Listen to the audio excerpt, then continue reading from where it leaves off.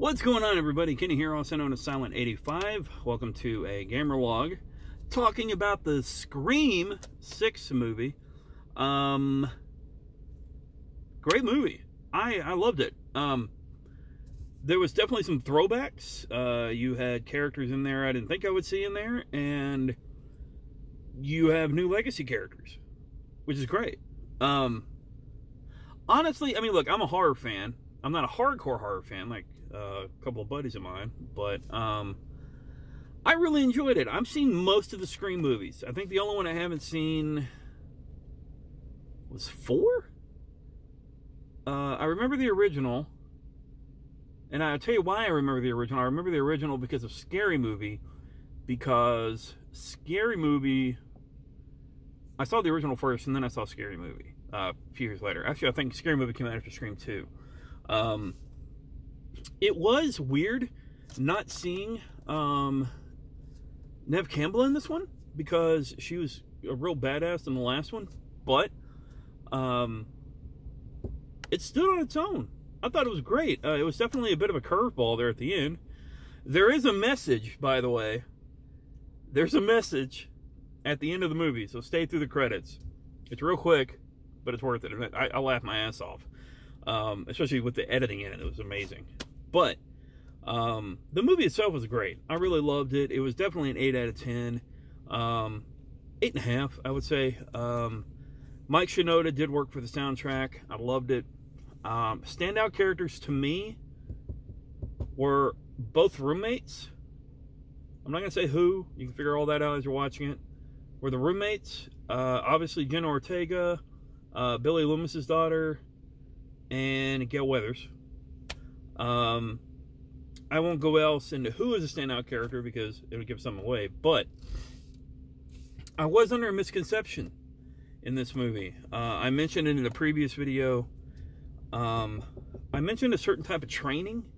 I don't want to say what it is, but um, I, it, it still applies, I guess, in some ways. But anyway, it blew my mind. Um, obviously, there's a lot of in and outs, uh, a lot of unexpected things to happen, but really cool throwbacks, really cool references, really just just really cool. And and again, just like the first one, the first one shows a message of a girl dealing with PTSD, dealing with these mental, um, I mean, for lack of a better word, challenges, these voices in her head, and um, you see that reflected here. I mean, she's turning something that is very dark within her into something, I mean, in a way positive. Um, and it's it's just really cool scenes when you see that interaction, when you see her getting getting a grip, you know, on um, what caused other people to lose their damn minds, you know. So, I will say that it's a really cool message. Um, there are a couple of what's the word I'm looking for? There are a couple of messages there that kind of speak to our society right now. I don't think they meant it that way. Maybe they did, but um, it, it is. You can see it in an exchange during in one of the late scenes of the film when the killers are unveiled. You, you kind of hear an exchange, and I was like, "That's true. That's really true, and it's been true for a long time, way before the internet too." So when you hear that, think about that. But overall, like I said, eight, eight and a half out of ten. I loved it. Um, I'm going to see John Wick hopefully this weekend, probably Monday. I hope. Uh, I had a free ticket today, so I used it on Scream. I ended up having a panic attack this morning. Um, I had to leave work early. Also, some other medical stuff going on. I'll keep you guys up to date on that. But uh, I'm doing better. I'm doing better. Uh, I had a panic attack and I had a physical, something physical happen, um, which scared the hell out of me. I, I don't want to go into details, but I just want to let you guys know I'm doing better. I'm doing okay. Um, but anyway, uh, it's back to work for me tomorrow, and um, yeah, it felt really good to get out because I've been a bit of a homebody. My hygiene's been horrible. I haven't I haven't had the energy to do anything, to be honest. I uh, I've been really, really I'm I'm not in a danger zone so to speak, but like emotionally and mentally, but I am definitely yeah, it's crazy. I'll give you I'll give you all more details next week at some point. I'm starting treatment. Um in two ways in my life, and I'll give you more details next week. I'm not I'm not really ready to talk about it yet, but I will let you guys know. Um, well, there is one I can talk about. Uh, I'm starting a new psoriasis treatment. Uh, they did the blood work um, Monday. They're checking. They're doing a full panel. Um, I'm getting off Taltz.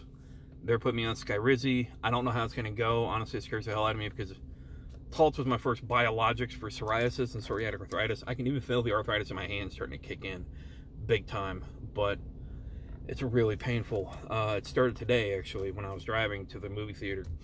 Um, so anyway, there's a lot going on, um, and I'll give you guys the detail next week. But the movie was a great escape from reality. I'm going to go home, play some Warcraft, um, and tonight we'll be continuing uh, Devil Within Me.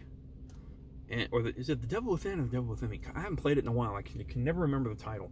Um, we'll be doing that as a part of Wednesday's lineup for now until we finish it. And then, of course, uh, continuing Forspoken tomorrow night, potentially. Um, like I said, the, last week was crazy. I had a lot going on.